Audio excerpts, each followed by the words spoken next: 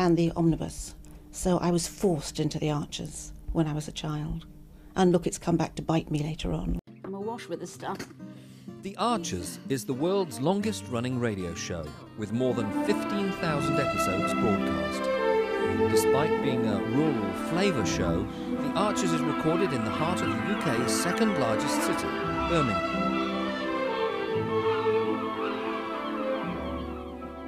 My castaway this week is the actress June Spencer. As Peggy Woolley in The Archers, she is one of the best loved matriarchs in broadcasting. It's 60 years this spring since she took on the role. Back then, The Archers was reckoned to be a Dick Barton for farmers, a programme not of actors playing roles, but of real people whose lives we were overhearing.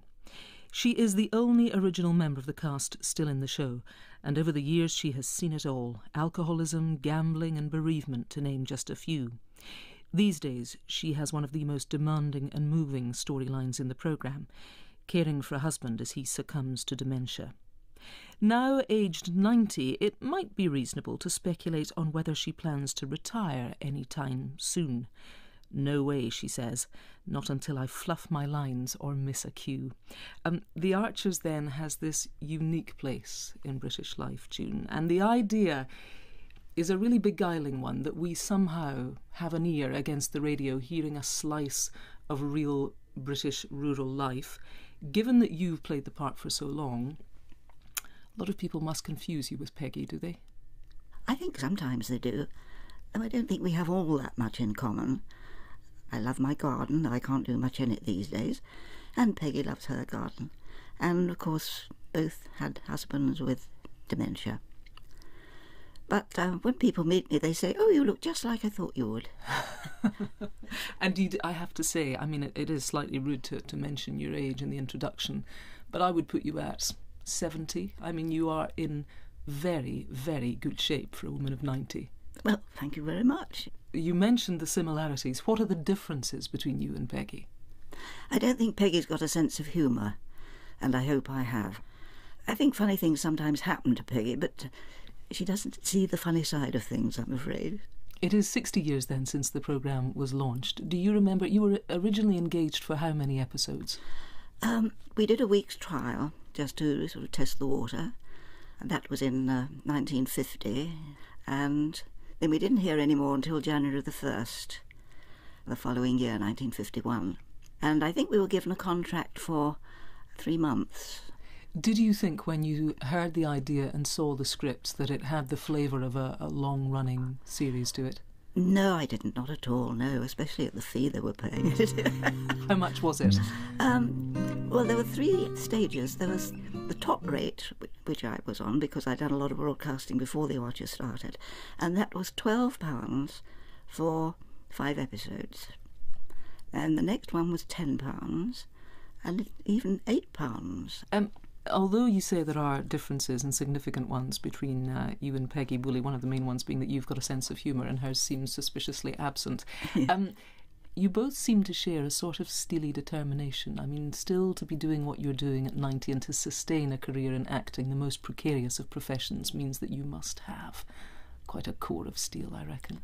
Yes, I think, uh, well, I, I don't know when I'm beaten, you see. well, I love acting so much. I, I I'm so lucky to have a job that I can still do. It's a great bonus for me that the Archers has run as long as it has, and I've gone along with it. Let's have some music then. Tell me about the first disc that we're going to hear today, June. I'd like to be reminded of my wartime years. On the run up to the war, my teenage years were, were a bit muddled because I left school early to look after my mother. My mother's health wasn't good. At the same time, I was just beginning to do the things I really wanted to do. I was uh, studying drama. And at the same time, we young people, we teenagers, we knew that there was a war coming.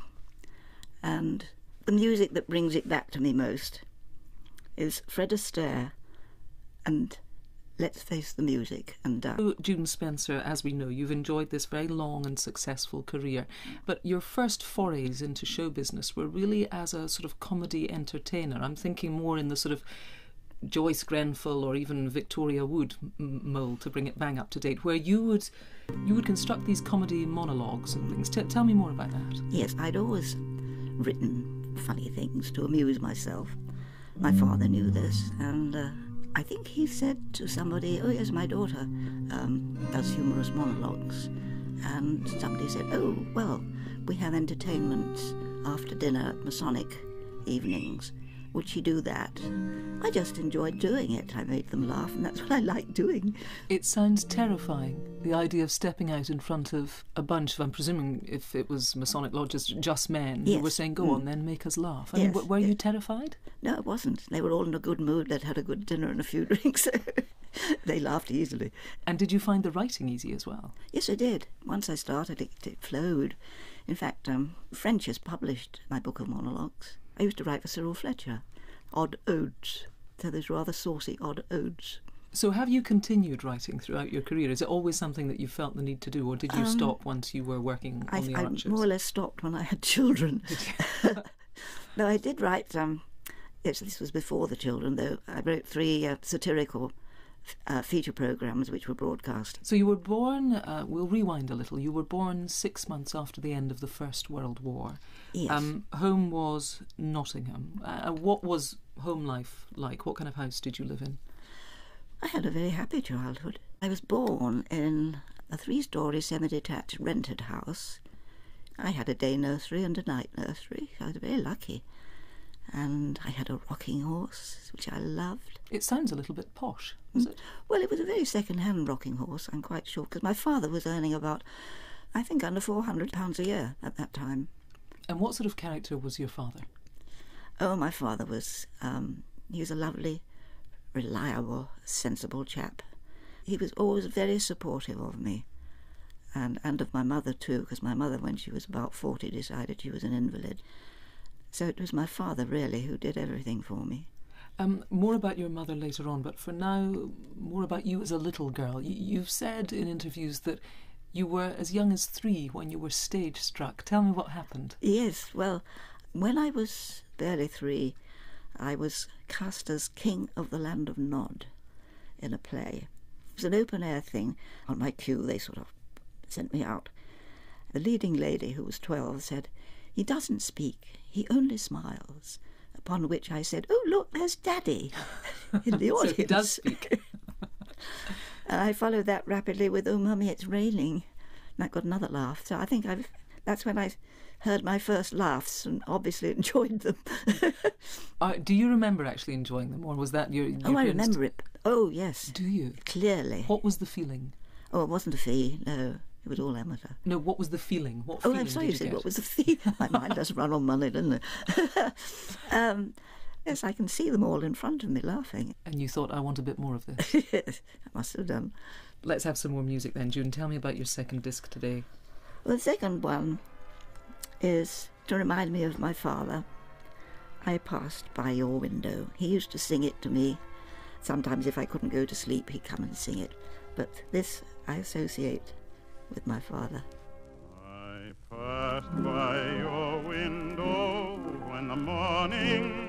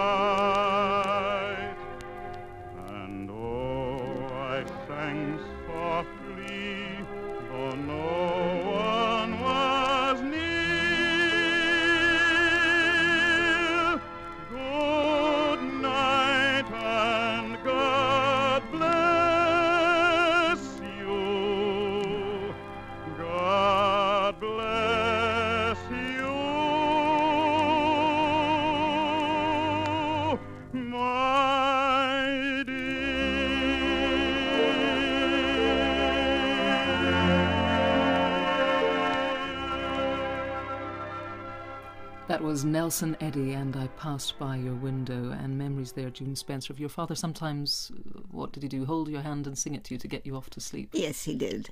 yes. And your parents used to hold little sort of musical soirees at home. Yes, they had uh, musical evenings.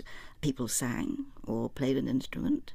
So I used to lie in bed at night, drift off to sleep, hearing all these old ballads and songs. And your parents also, I understand, had a, a motorbike with a sidecar. What, what do you remember of that? Well, we had that when I was about four, I would think. Did you watch them go off in it? Presumably you weren't in it too, were you? Oh, yes. Oh, yes. Where did um, you sit? On my mother's knee. And uh, there wasn't a top to it. So if it was raining, she had a tarpaulin which she sort of wedged behind her back and held over her head. I don't know, her arms must have been aching for it to drop off. And uh, we used to go miles in that, went up to London, all sorts of things. Was it terrifying or exhilarating? Well, it was was all right for me. It must have been awful for my parents.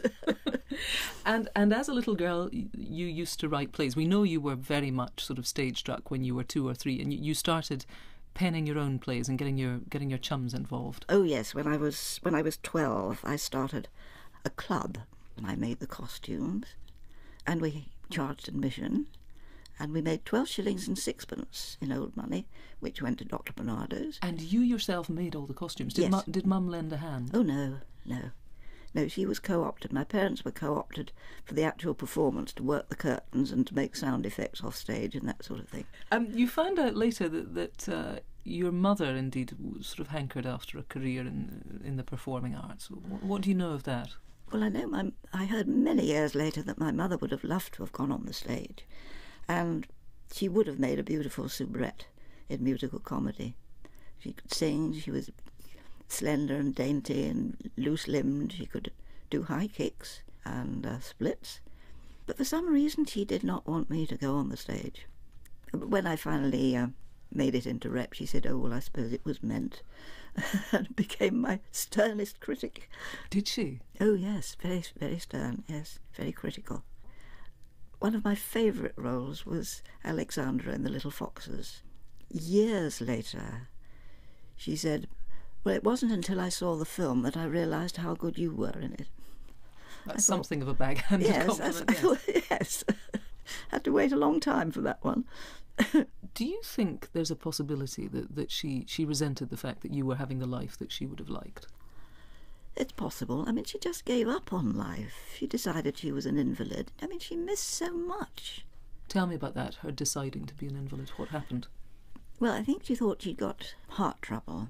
She was very anemic and she thought she had a heart problem. And uh, she took to her bed. She liked me there all the time in case she had one of these attacks that she had. So I would sit in her bedroom with the curtains closed because she didn't like the bright light. But um, it was very frustrating for a teenager. And you, you've said she, she thought she was ill. I mean, is, is it is it your view that this was largely sort of hypochondriacal, that she sort of confected something to be ill I with? think she didn't face up to it. And I don't think the medical care she was getting helped with it rather encouraged her. And my father rather encouraged her as well. He was so worried about her. He was a bit over fussy with her, I think. I mean, and she was only in her early 40s. Yes, yes. And how long did she live like this? Till she was 94. And so, did she, uh, once your father had passed away, did she live alone like that? This no, by that time they were living with us uh, because my father had gone blind. And when my father died, of course, my mother stayed on. And finally, I, I got her into a, a very nice residential home where she bucked up no end and uh, started going for walks on her own. She'd never been out of the house without being supported on both sides for years. Did you ever have it out with her? Did you ever tell her what you thought and, and said to her, come on, I think No, of you-" course not. You didn't. No, no. Let's have some music then. Tell me about your third disc today. What have you chosen? Well, the third one is uh, Chopin's Revolutionary Study. I started music lessons, piano lessons, when I was six, and I loved playing. And I went on playing until I was about 15 or 16 when I had to stop practicing my two hours a day because mother couldn't stand the noise because she was lying up in bed. I was never going to be a, a brilliant pianist, but I do love hearing piano played well. Hence the revolutionarist. War was declared. For Yes. you personally, what, what did that mean? Well, when uh, the Germans marched into Poland, my mother and I were on holiday in the south of England somewhere. So my father drove down to collect us because the trains were full of little evacuees going off to they didn't know where with their gas masks and their, their labels, their names, to say where they were going. And did you have a sense of uh, foreboding, or given that you were only 20, did it all seem like something of, of, of an adventure? No, not at all. It, it, it saddened it saddened me very much. I kept thinking of my boyfriends who would be called up and going, and but I don't think there was any of the, the sort of gung ho spirit there was in the First World War. And when did you meet Roger? When we were both seventeen, on holiday in Chapel St Leonard's, which is a little village on the east coast near Skegness, and my parents used to rent a bungalow for a month, and his parents used to rent a bungalow for a month, and we, that's how we met. And when did you marry? Not until 1942. I had lots of other boyfriends and he had other girlfriends. It wasn't until the war and he came home on leave that um, he, he caught me in a weak moment and I said yes. because originally, on the uh, when we were 17 on this holiday, I'd said to him rather loftily, I'll be your girlfriend for the duration of the holiday, but after that, finish. I can't bear these holiday romances that peter out during the winter. Never, never a married for- wiser word. Married for 59 years.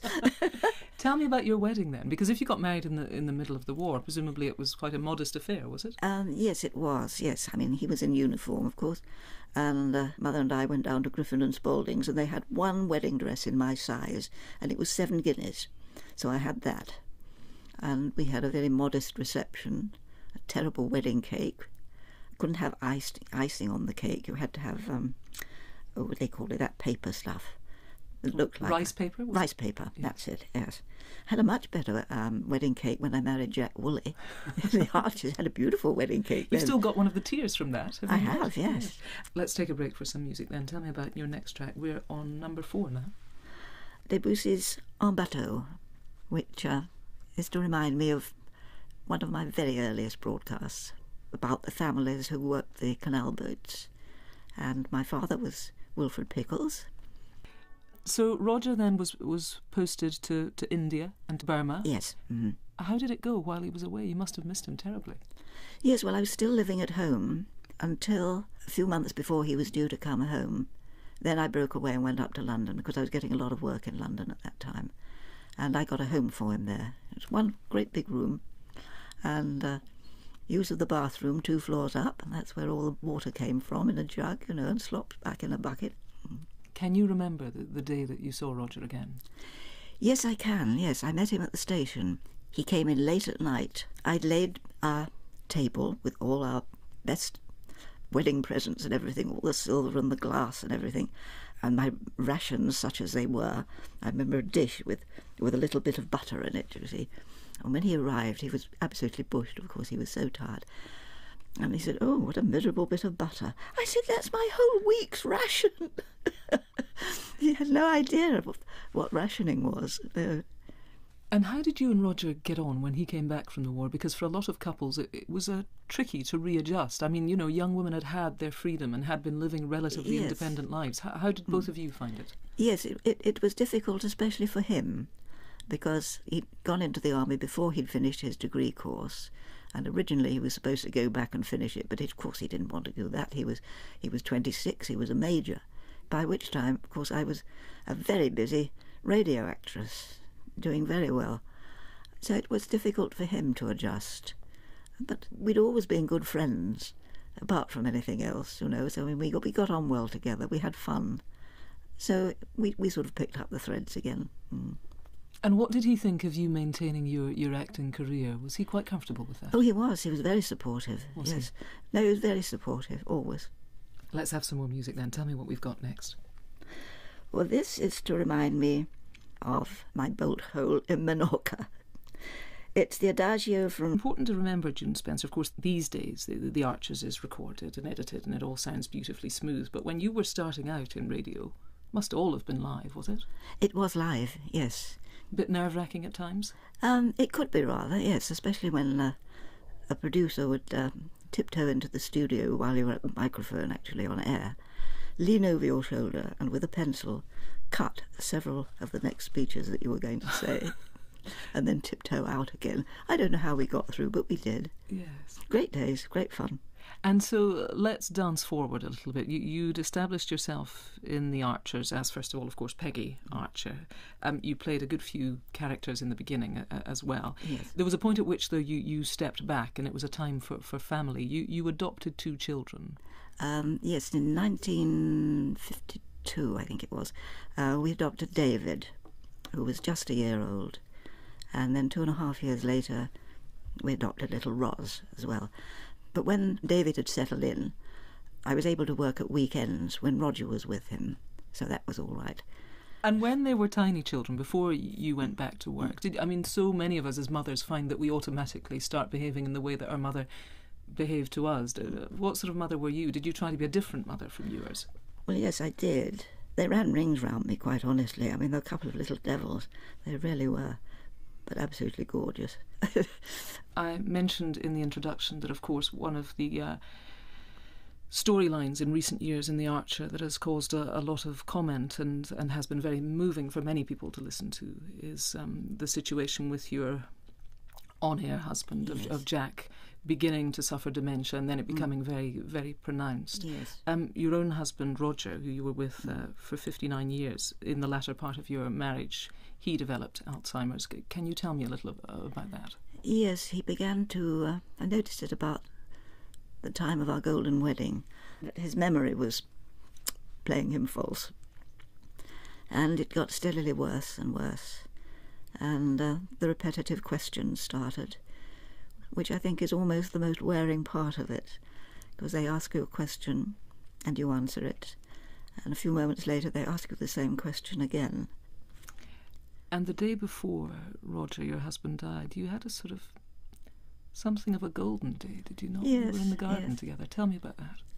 Yes, it was a beautiful day, lovely spring day in May, and all the, the garden was looking lovely. And I said, "Such a lovely day. Let's let's go and have lunch in the garden." And uh, I made a nice salad, and we had a, a bottle of chilled white wine. He was very amused, I remember, because I'd, I'd put it in a big vase with, with, with ice at the bottom. I said, well, that's, that's my wine chiller. He kept on saying, Isn't this lovely? What a lovely lunch. It was such a happy, such a happy day. Let's have some music. Tell me about uh, the next piece of music. We're on disc number six now, June. I'd like to hear dear old Harry Secombe sing opera. I met him when we did Songs of Praise in the Balearics. He had a house in Mallorca, and of course I had this one in Menorca.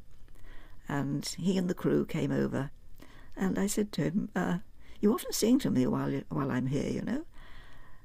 Oh, he said, looking very surprised. So I went and fetched one of my tapes, which was operatic arias, and there was Callas and Domingo and Carreras and Secombe. and he said, Oh, I'm in good company.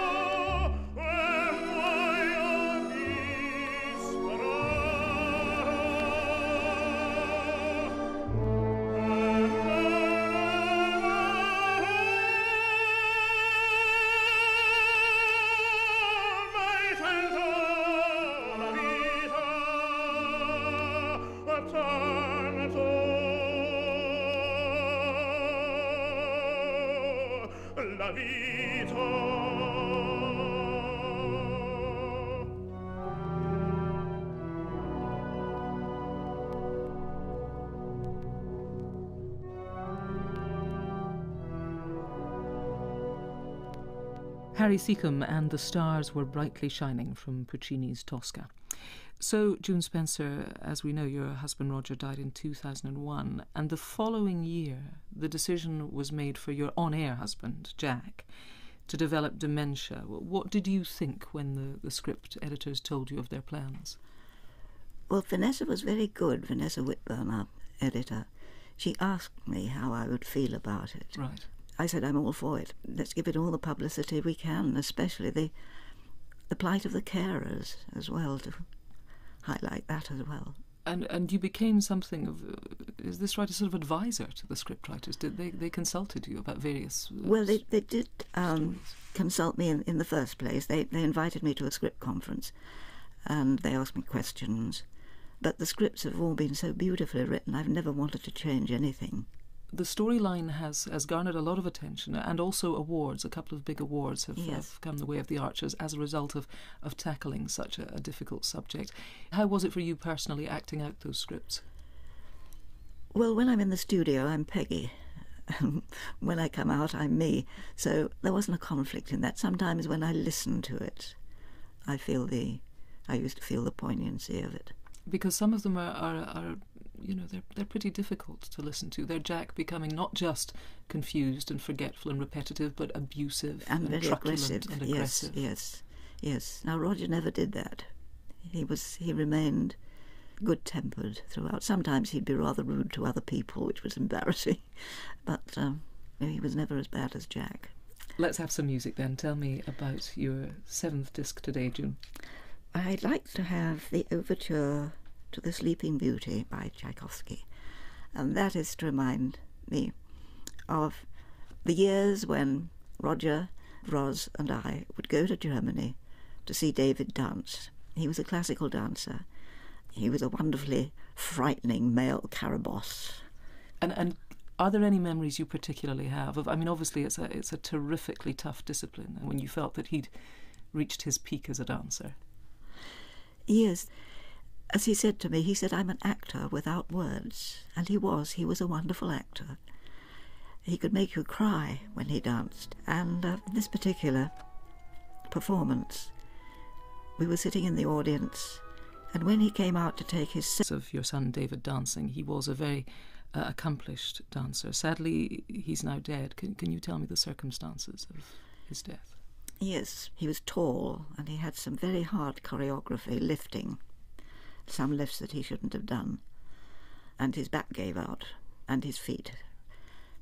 When he stopped dancing, his wife, with whom he always danced, needed a new partner. So she found a new young dancer, and I'm afraid the marriage broke up. So David lost his career through having to give up because of his bad back and uh, lost his wife and his little daughter, whom he adored. And uh, I'm afraid he just took to drink. Although he didn't enjoy drinking, he couldn't stop. And sadly, eventually, as he knew it would, it killed him. And he wasn't living in England at that time. It must have been terrifically difficult for you as a, as a mother at a distance, knowing that this was happening to him. It was. It's it's something that you live with every day. Mm. It's the last thing you think of when you go to bed at night, and it's the first thing you think of in the morning. I used to go over frequently, and he, of course, came over to England, but you could see he was fighting a losing battle. He got wonderful treatment in Germany, which was the reason that he didn't come back to England. I, I cannot praise highly enough the, the treatment that he got in Germany. And not just the, the sadness of a mother, but also being being a performer yourself and understanding. I mean, you you're still working at the age of ninety to, to see another person who's a performer have the thing that's so dear to them and that they're so skilled at taken away must have been Yes. great pain as well. Yes. It had been his life, you see, since he was 11 when he went to the Rambert school. And what about your, your granddaughter Claire? She she she Claire in- is in Australia. Right. Yes, she was supposed to come over for my 90th birthday, but uh, I sent her a, a ticket. But something prevented her coming, and she's been out there for about three years. I expect I shall see her again sometime. But it's too far for me to go at my age. You've spent a lot of your time uh, taking care of other people. It, it, it seems incredible that, I mean, first of all, as a teenager, you mm. had to restrict your own life to be mm. with your mother while she felt that she needed you there. You've spoken about Roger in the last few years of, of, of his life, and, and then David's illness, and also you took time out of your acting for your own two children when you adopted them. Um, what about the time that you have now? To, to a degree, although you have uh, the sadness of the people who are no longer with you in your family, you, you have a life that is maybe more your own than ever. Oh, I think so. Yes, yes. I'm. There aren't enough days in the week for all the things I want to do. I mean, I, I started a Scrabble club after Roger died. I joined the U3A Spanish conversation classes. I had a pretty good life, you know. And what about Roz, your daughter? You're very close to Roz. yes. Oh, she's she's a wonderful daughter. I remember David saying about her not long before he died. He said, "She's a wonderful woman," and she is. She's a darling. And and does Roz ever try to persuade you that you might want to consider retirement? Oh, I don't think so. No. Well, she knows it's good for me. It's the breath of life to me, acting. Let's hear your final piece of music then, June. What have we got? Well, perhaps sometimes I might feel a bit down in the dumps. So I'd like the Hallelujah chorus from Handel's Messiah. And I would climb up. I'll give you then, June, the Bible and the complete works of Shakespeare. And you're allowed to take a book. What's your book going to be? Well, I think I'd like something to make me laugh. So Three Men in a Boat by Jerome K. Jerome. Right, that's yours. And uh, a luxury. I'd like to take my Scrabble board. And one hand can play Left hand hand. can play right hand. And if you had to choose just one of the discs from today, which one would you choose? I think the uh, the Rodrigo Concerto de Aranjuez. It's yours, June Spencer. Thank you